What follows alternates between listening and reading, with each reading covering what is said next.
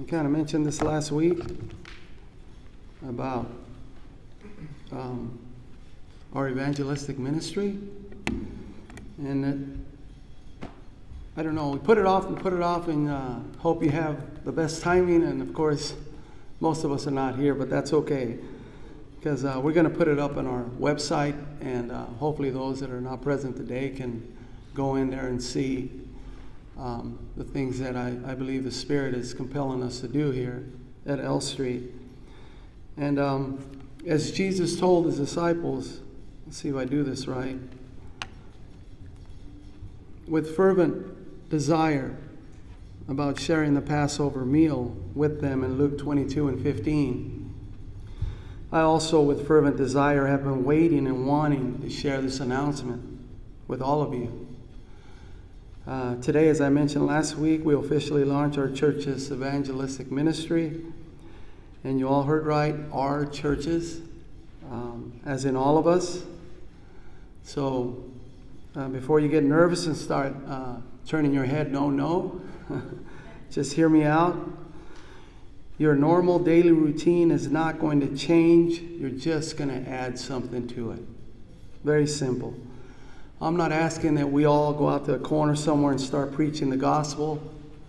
Only people that are given the gift of evangelism by Jesus, uh, noted in Ephesians 4 and 11, are compelled by the, by the Holy Spirit to go out and do so, so don't panic. All right? But we are all commanded by Jesus to do something with his gospel. Amen? All right, in Matthew 28, 18 through 20, Jesus said, All authority has been given to me in heaven and on earth.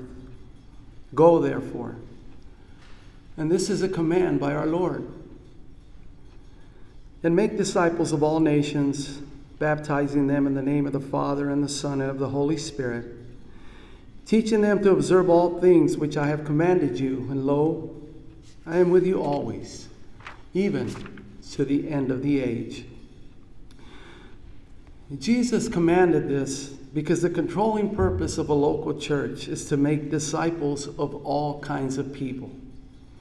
Those who are evangelized are converted, then they should be baptized, attesting to their identification with Christ and with the local body of believers. The final phase of the Great Commission is to train disciples in Christian knowledge and for effective service. A church cannot choose one aspect of its responsibilities and neglect the others. The Great Commission is a simple command with three steps evangelism, baptism, and education. We have the baptism pool behind me. We have Bible studies Wednesday nights and Sunday mornings where we can all be discipled by the Word of God that's why it's so important for all of us to catch a Bible study. Evangelism is the only part we need to work on in order to grow this church the biblical way together. The Great Commission is the strategy by which the first century church in Acts chapter 2 saturated its community with the gospel, in which about 3,000 souls were added. When a, tr- when a church moves together in faith, you'll be amazed at what the Lord will do. The Bible says that He added daily those who were being saved. I'm sure most of you notice a box of red Bibles and our official church gospel tracts in the table in the back of the auditorium. From now on, we're going to do our best to keep that stocked. And this is how we're going to saturate our community together. For the Bibles, I simply ask that everyone take one and keep it in your car. There's been several times when Dave and I have been out evangelizing and someone asks us for a Bible, and it breaks my heart and it makes me bite down on my teeth because we didn't have one to give them. We miss that opportunity. What better gift can we give someone than the entire Word of God? Amen? That problem is now solved. By having one available, we will never miss that opportunity again. We can give it to a friend, a stranger, a guest, anyone. Like this, or like this, or like this, or like this. And if you give yours away, make sure we stock it with another one.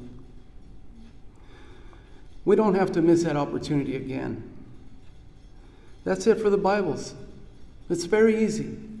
Just take one, keep it in your car, have it ready available so that when the opportunity comes up, you have one there to give to someone. For the gospel church tracts,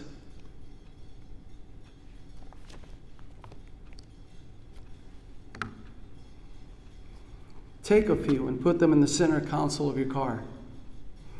Have them there in your sight so that when you're out and about, you can remember you have them with you. In the front, there's scripture that backs up the fact that only Jesus saves. Okay? Uh, we put on there John 6 and 47. Most assuredly, I say to you, he who believes in me has everlasting life. Uh, John 14 and 6, Jesus said to them, I am the way, the truth, and the life. No one comes to the Father except through me. John 17 and 3, and this is eternal life, that they may know you, the only true God, in Jesus Christ, whom you have sent. In Acts 4 and 12, nor is there salvation in any other, for there is no other name under heaven given among men by which we must be saved. This is the logo that the Holy Spirit compelled me to promote. Because through Isaiah, the Lord said, I, even I, am the Lord. And besides me, there is no Savior. And in the back and short is the gospel message, our church address, service time, and our website. And this is the message which we preach. Sin is the wrong thing we do and ha- or have done. For all have sinned and fall short of the glory of God. Romans 3 and 23. Our sin separates us from God from eternity. But your iniquities have separated you from your God, and your sins have hidden his face from you, said he will not hear. And Jesus died and rose again so that no one has to go to hell. For God so loved the world that he gave his only begotten Son, that whosoever believes in him should not perish, but have everlasting life. And repent, turn away from sin, receive Jesus as Lord, and be saved. That if you confess with your mouth the Lord Jesus, and you believe in your heart that God raised him from the grave, you will be saved. Romans 10 and 9. The church address our service time and our webpage. This is basically what Jesus was saying when he came to Galilee preaching, The time is fulfilled and the kingdom of God is at hand. Repent and believe the gospel. This is a message we are to announce. And this is how we're going to saturate our community with this gospel. I'm sure most of us go to an ATM machine. Every time I go to an ATM machine, I'll put my card in to do my business. I put a couple tracts there on the bottom. It's very easy. There are different types. Some of them have a pretty steep angle. If your card is bended up, it kind of tends to slide off. So I bend it so that the edges are touching. You set it on there and they stay on there pretty easy. Okay? It's very easy to do. And some of them have a little groove in the middle where you can actually stand them up on there, like this one uh, which is pretty easy. There's one at a drive-through. When you're going through a drive-through, put one on there, a couple on there. Here's another one. It's very easy to do. And it's something we all do at one time or another. Okay? I'm sure most of us go to a gas station, right? We got to get gas for our vehicles. Every time I go to a gas station, I'll put some in the gas pump. Sometimes there's a sign above it where you can conveniently place it in there, like this one. Sometimes I'll put it in the front. There's some grooves in there somewhere where you can wedge a card into where it stays in there pretty good. Or even set them on the side like that. Very easy. It's something we do at least once a week. I'm sure most of us go out to eat, right? Every time you go out to eat, when you're done, pay your bill, you're getting ready to leave your table, drop one in the card. This one's at a table at Los Panchos. Okay? Very easy. Set one there. This one's at um, Panda Express. One day I ate there. I got done, went out to throw my trash, left one on the card. Right there on the table. Very easy to do. Okay? Always keep one in your wallet or in your purse. You never know when you're going to have a conversation with someone and church comes up. If you have a tract readily available, you can give it to them. The address, the service time is in the back. Again, don't miss the opportunity. There's plenty of times when people ask me, what church you go to? You know, before it was like, oh, I go to church on L Street and I forget the address. Well, it's between uh, 3rd and 4th and right next to the Chula Vista High School. You know, but once they go on their way, you know they're going to forget that, right? If you have a card ready, you can give it to them. The address is in the back. And hopefully um, what we're hoping for is that they'll be convicted enough by the Spirit to come here and hear the Word of God. Whenever I'm out, there's always an opportunity to drop a card somewhere, right? When I go Vons shop and return the card, leave one there. Someone's going to grab that basket. They might see it and grab it. You never know. This is at Home Depot. I'll go shopping there, I'll buy something, I'll drop a card somewhere where someone can see it right? Someone will grab it. This is at a public bathroom. Sometimes we'll use a public bathroom. When I'm in there, I'll do my thing, wash up, I'll leave one there. You know someone's going to go in there. And if you get a little bold when you go through a drive through, you can give one to some person like this. It surprises them, believe me. they never expect it.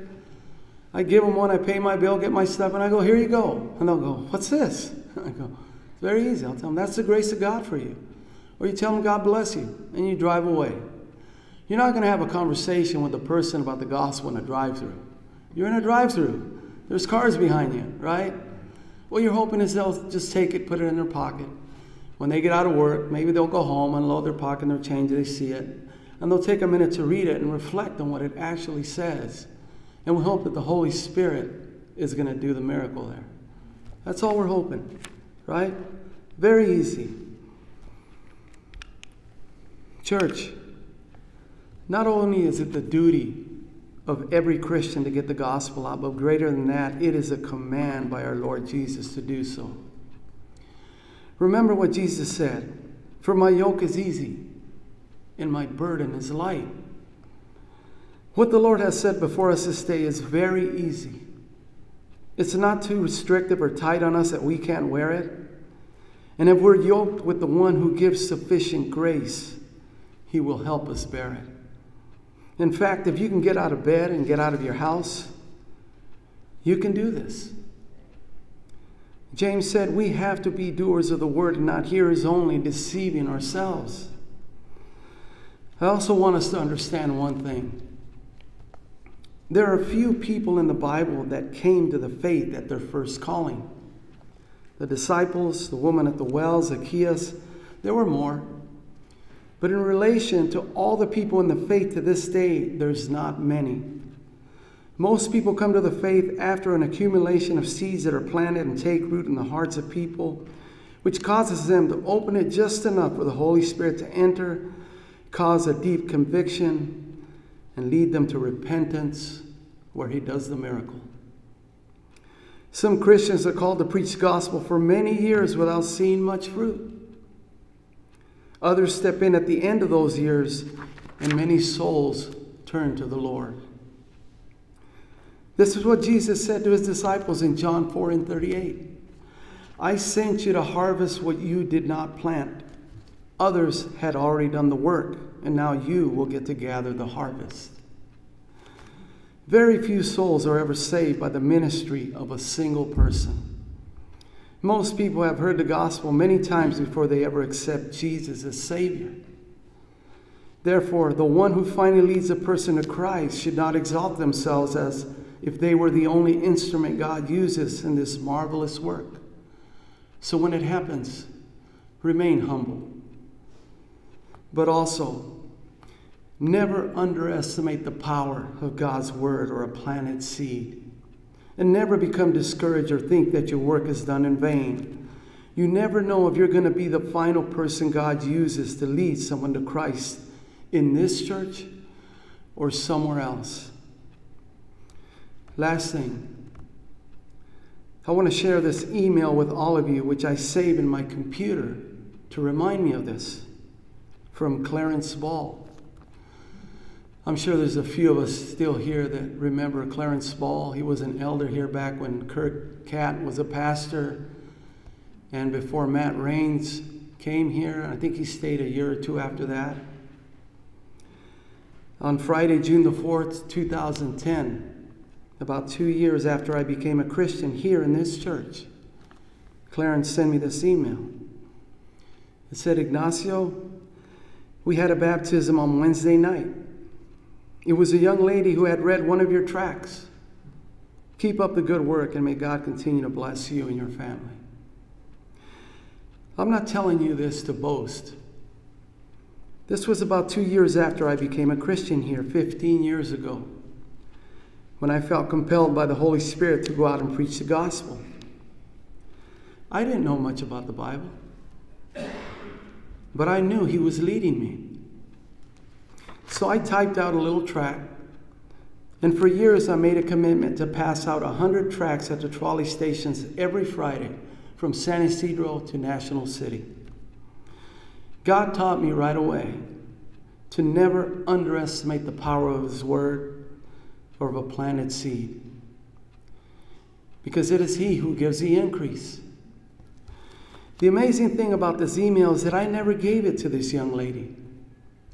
I gave it to another person who left it on a bench. She sat down, picked it up, read it. The Holy Spirit convicted her, and that next Wednesday she came here and got baptized. It is the Holy Spirit who does the work. So never underestimate the power of a planted seed. You never know where that person is in their journey of life before they read it. There is a great work of ingathering that the Lord has laid before us. And we should give ourselves to do it diligently because Jesus is still telling all his churches today Wake up and look around. The fields are already ripe for harvest, and he who reaps receives wages and gathers fruit for eternal life. That both he who sows and he who reaps may rejoice together. Church, this is part of our identity being in Christ Jesus. This is not part of our DNA, not just something we're supposed to do, this should become second nature to us. This is our new way of life, being a disciple of Jesus Christ. Let's be the church that carries out the commandment of our Lord and saturate our community with the gospel. Make it a commitment today and for the rest of our lives to always put out a couple tracts each week as we go about our daily lives. It's very easy to do. And if this causes you a little anxiety or dismay, remember what God said to Joshua before he commanded him to go over the Jordan and take the land which God promised the children of Israel. Have I not commanded you? Be strong and of good courage. Do not be afraid, nor be dismayed, for the Lord your God is with you wherever you go. Take your Bible, take your tracts, and let's build this church together the biblical way. Amen?